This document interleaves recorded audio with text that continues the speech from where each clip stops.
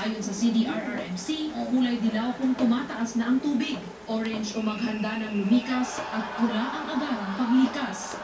Binabantayan naman ang mga ilog sa Dipolog na madalas umapaw. Ano gina-watch mo? Sarado na rin ang mga flights sa Butuan. Isa sa naabala si Father Rabin Reyes Ano gina-watch mo? na papuntang Maynila. Crystal Bean. Star Ben? Bobo ba? Marami ang stranded dahil walang biyahe ang barko.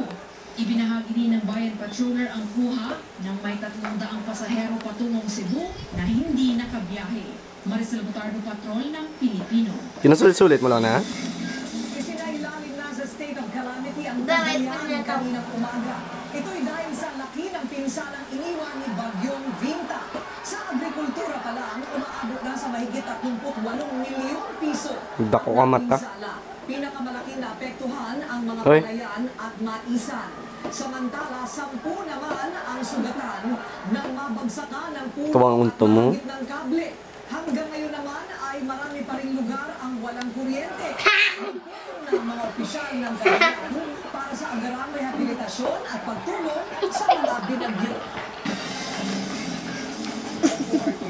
Buisit. Ngayon po naman may panibagong bagyo. Ang pangalan po ay Wilma. Live mula po sa